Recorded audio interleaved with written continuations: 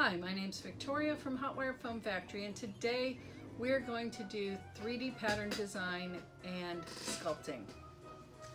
First, we took a line drawing from a coloring page. We did a Halloween cat today.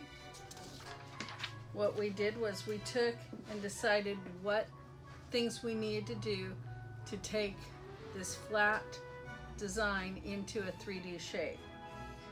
So first we decided what we need to do is cut out the body portion. So we outlined that separately. Then we figured once we got our cat going, the legs would need some girth. So we did an outline of just the legs and turned those into a piece of the pattern. Then we took the body portion without the tail and did just the outline with an ear and the body and the legs. And all of those layered out into our pattern. We took those and put them in the computer and laid out our pattern design. I printed this in poster form.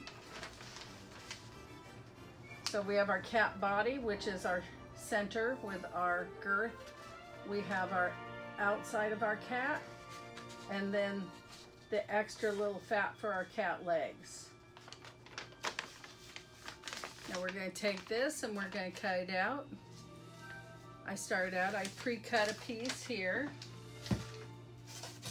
Now these were cut with one inch foam in mind. Most people don't have one inch foam, so what we're going to do is we're going to show you how to cut down a piece of one inch into half inch foam to get a little thinner.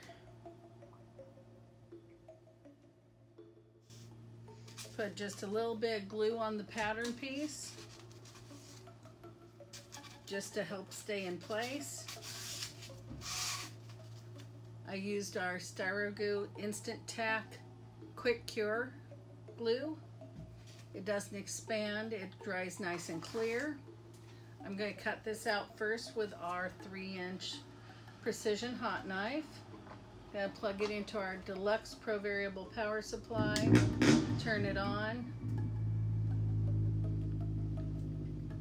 Make sure the switch is turned to our craft power.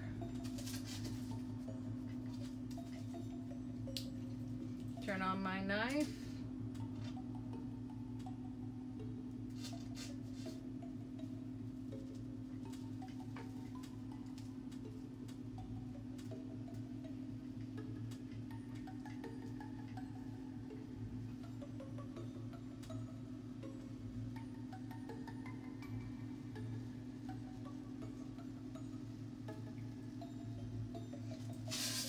Just going to cut right along the pattern line here.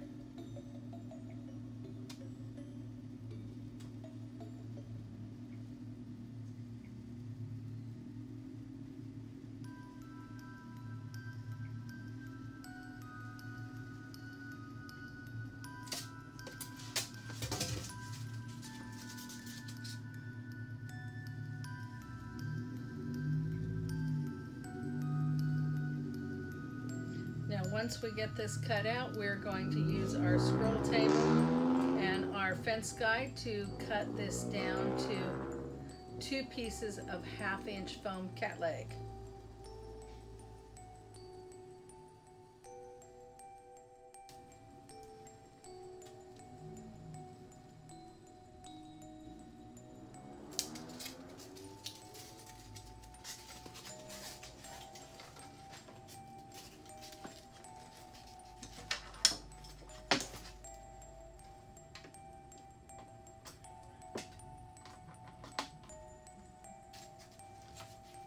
Okay, so we're just going to run this along the fence.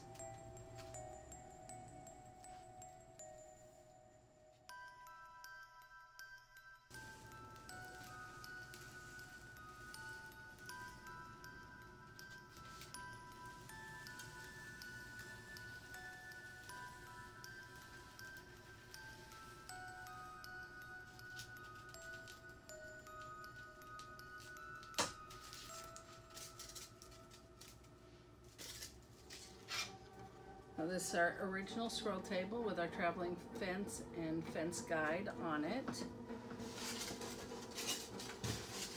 Now once you have all your cat parts cut out, you're going to glue them all together.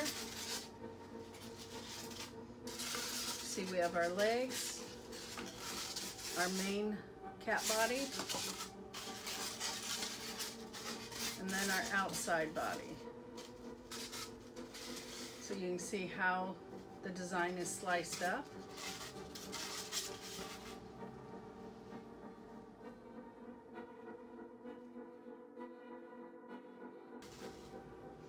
Now we're not going to put glue on the tail as it is not on any of the other pieces.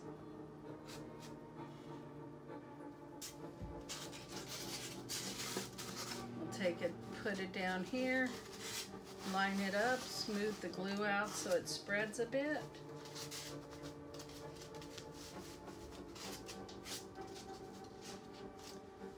As you can see, it's an instant tack. It doesn't slide, it doesn't move. We continue on with our legs.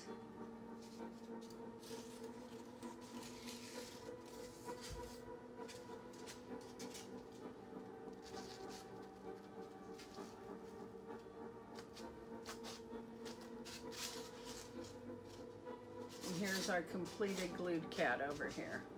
You can also get a little creative. We took and removed the tail and flipped it upside down and gave the cat a whole new look.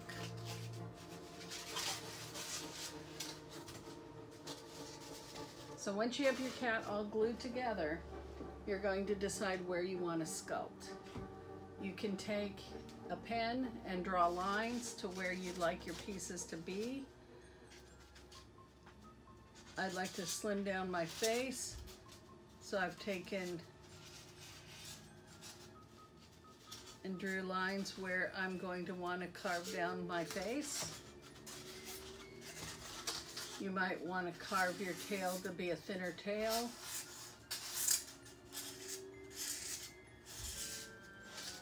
So you go ahead and draw and give yourself a little idea of where to follow. You can do that with your legs as well.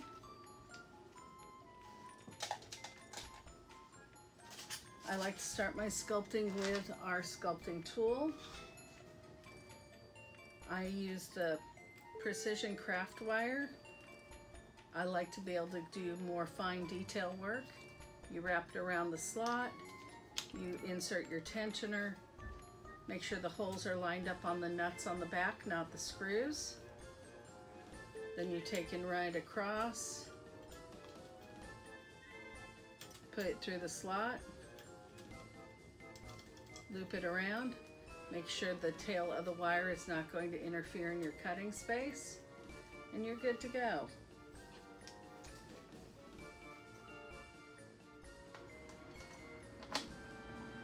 Make sure your switch is over the craft side if you're using the Deluxe Pro variable. If you're using the Pro variable, just go ahead and put it into the craft jack.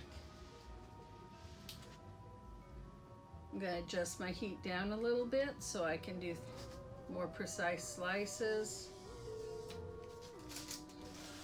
The lower the heat, the more precise the slice,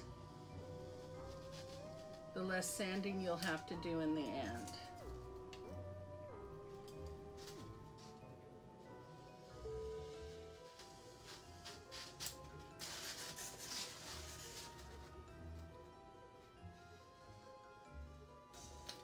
You can go very, very thin with the precision craft wire.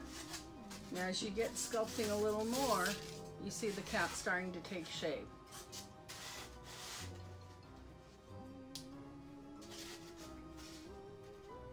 What you're going to try to do is get rid of the flat edges as much as you can.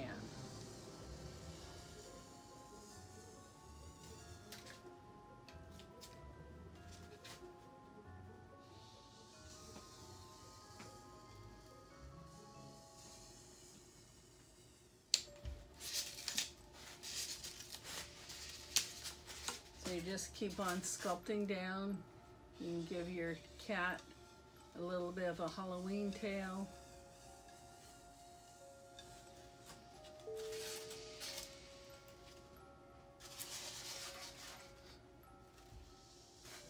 Now the more you can sculpt away, the less you're going to have to sand in the end.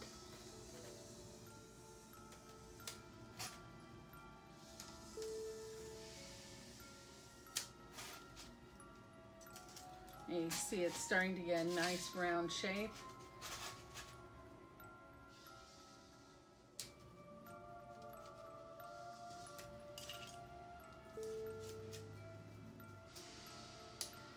Can also take your freehand router, switch over to your ProJack,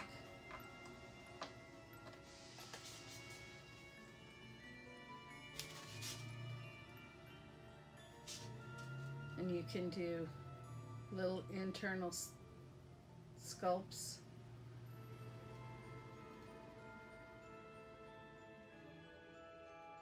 Give the paw a little more contour.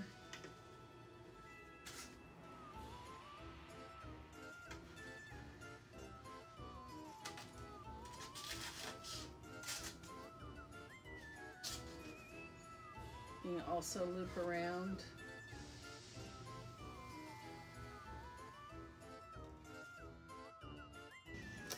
Shape that wire any way you want take away a nice round piece.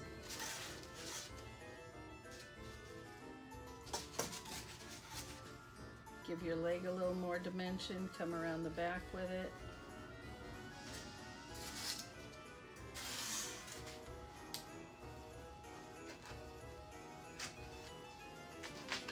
You can even use the precision engraving tool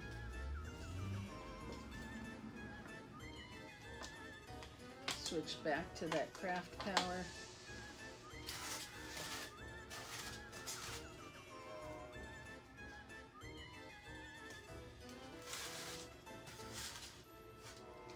And you'd engrave in some details into the face. You can engrave in the nose.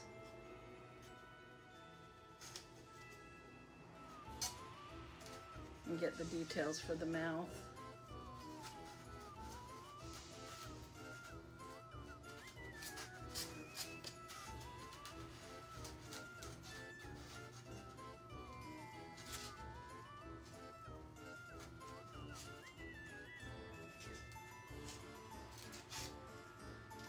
Go in and hollow out into the, uh, the ears.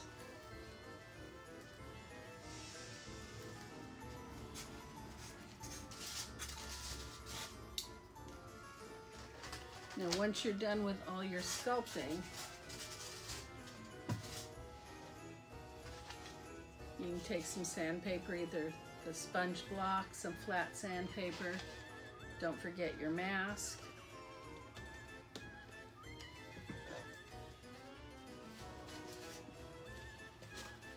And try to go one direction so you don't take as many chunks out. Use the finer piece to get into more crease areas. And your cat's really starting to take some shape. When you're done sanding, you can put some hard coat on your kitty, sit him outside, give him a paint job, and you're all good to go for Halloween or any time of year. Thank you so much for joining us here with Hot Wire Foam Factory. Once again, my name's Victoria. Enjoyed spending this time with you. Make sure when you do your sculptures, post them on our Facebook and Instagram page and tag Hot Wire Foam Factory. Thank you so much.